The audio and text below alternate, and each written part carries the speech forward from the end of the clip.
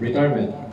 Pursuant to General Orders Number LSQ-0-CR 2023-430, National Headquarters, Philippine National Police, Police Major General Eric Escocio Noble, ODAS 06505 is compulsorily retired from the PNP service effective January 16, 2024.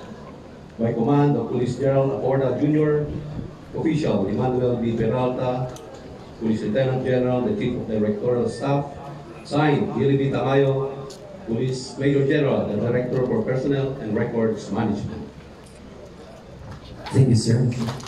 At this moment, we request our the Police Major General Eric Escocio the Director for Investigation and Detective Management, for the retirement of his personal flag.